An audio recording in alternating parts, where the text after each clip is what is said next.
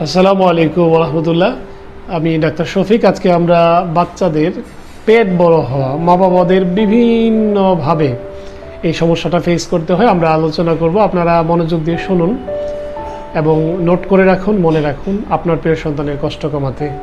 শিশুদের পেট বড় হতে পারে যদি কৃমির সমস্যা হয়। অতিরিক্ত কৃমির কারণে শিশুদের পেট বড় হয়।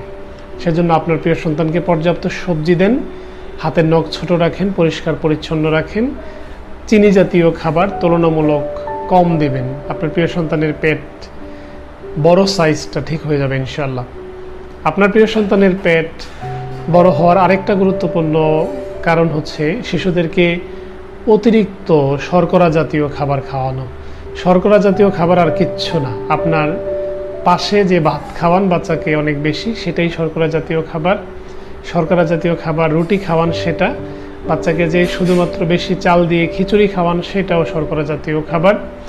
অতিরিক্ত চিনি দেন, এটাও শর্করা জাতীয় খাবার। এই খাবারগুলো একটু অ্যাভয়েড করলে আপনার প্রিয় সন্তানের পেটের সাইজটা ছোট হয়ে যাবে ইনশাল্লাহ সুতরাং আপনার প্রিয় সন্তানকে ভাতের সাথে, ভাতের মতো করেই, ভাতের সমপরিমাণ বা কাছাকাছি পরিমাণে প্রোটিন অর্থাৎ মাছ, মাংস, ডাল খেতে দিন।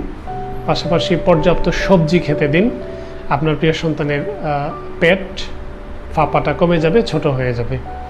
শিশুদের পেট বড় হওয়ার আরেকটি গুরুত্বপূর্ণ কারণ হচ্ছে অনিয়মিত পটি হওয়া বা পটি শক্ত হওয়া।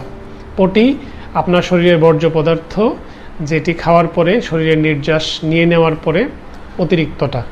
এটি যত তাড়াতাড়ি শরীর থেকে বের হবে, পেটের সাইজ তত কমবে। নতুন করে খাবারের চাহিদার সৃষ্টি হবে। যদি পটি শক্ত হয়, সেক্ষেত্রে ক্ষুধামন্দা হবে, বমি বমি হবে, পেট ফাঁপা হবে।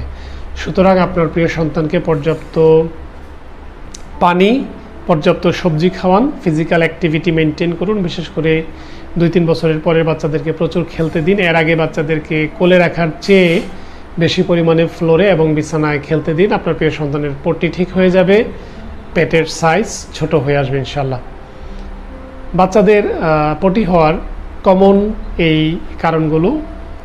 অভিভাবক হিসেবে আপনি যতটা জানবেন, আপনার দুশ্চিন্তা তত কমবে।